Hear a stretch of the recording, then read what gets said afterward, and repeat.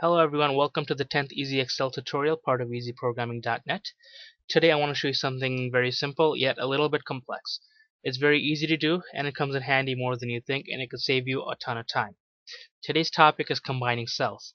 In the past I showed you Merge and Center, this button right here, which merges multiple cells and puts them into one. Uh, the thing with with merge and center is that if you have data in more than one cell, like I have here, John and Smith, it will overwrite the second cell. It'll only keep whatever's whatever's in the top left cell. If I click on merge and center, it will it says merging center. Merging cells will only keep the upper left cell value and discards the other values. If I press OK, it gets rid of Smith and I have John. Sure, it merged the cells, but that's not what I want. So I'll just undo, Control Z.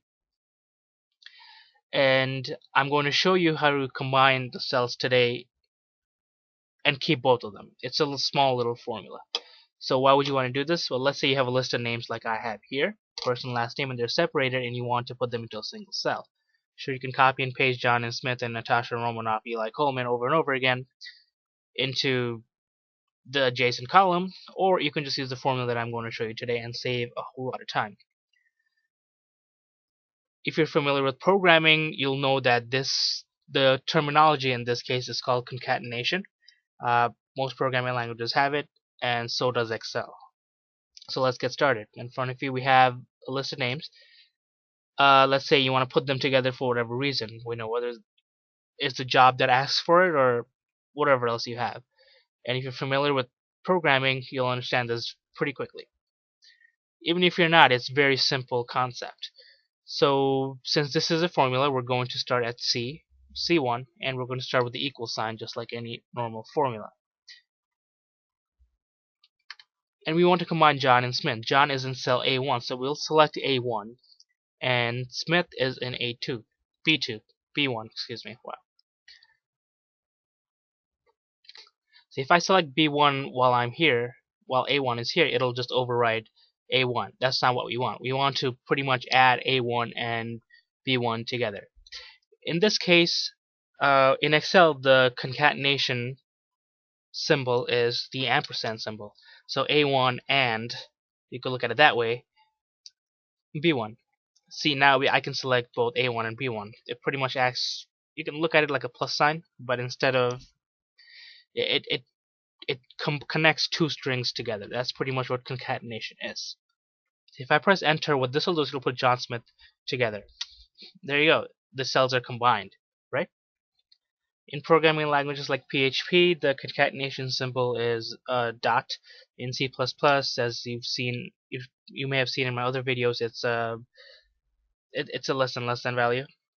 You know, it's a the arrow, and uh, Excel uses ampersand. And the reason it puts John Smith together without any spaces is because neither of these strings here have any spaces in them.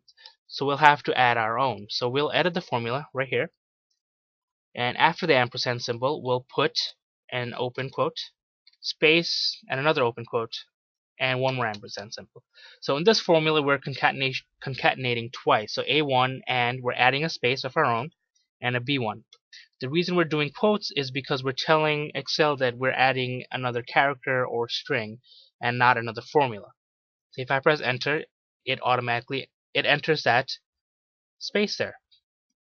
If I do it without the space, it'll give me an error and it will say and it will fix it and get rid of one of the ampersand symbols. So it says we found a typo in your formula and tried to correct it to A1 and B1. Do you want to accept this correction? I'll press no. So I'll just put the quotes back in there. There we go, and press enter. And there you go, John Smith. Easy, right? This is the formula you need to know, the concatenation formula. It's just the one symbol, ampersand. And just like before, we only have to do the formula once. And with our friend the autofill right here, I'm going to drag it all the way down here. And look, everything lines up as it should. I just have to do it once. See A2, B2, A2, B3, all the way to United States, A14 and B14. It's pretty easy to do, but also pretty complex. It's not that complex, but if you're showing this to someone who doesn't know Excel, you'll very likely uh, to impress them a little bit.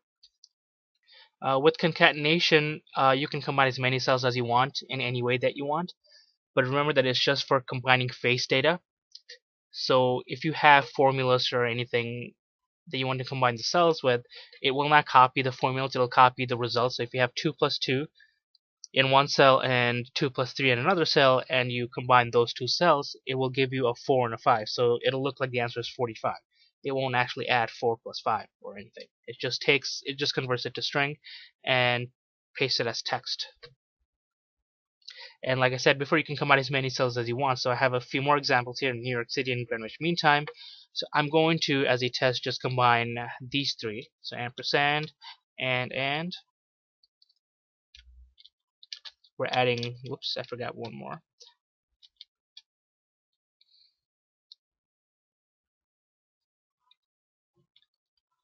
We go. And this. So we have we're concatenating quite a few times because we're adding two spaces.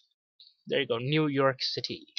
So this is the formula A7 plus B7, A17, B17, and C17 with two concatenations in between. Right? So let's just autofill. There you go, we have Greenwich Mean Time. Easy as that. All you have to do is remember the ampersand symbol in Excel in Excel, and that's it's the way to concatenate. If you've ever done any programming, it should be easy for you.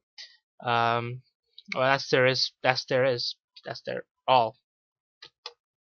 Uh, today we covered combining data. Next time I'll show you how to split the columns. Like let's say we have John Smith to the United States, we'll split them into two different columns because sometimes you need to separate first name and last name or whatever data you're working with. I already have that started here. Um, you know, splitting data is another very easy but also a complex task. It's easy. It's always good to know these things because it can save you a whole lot of time.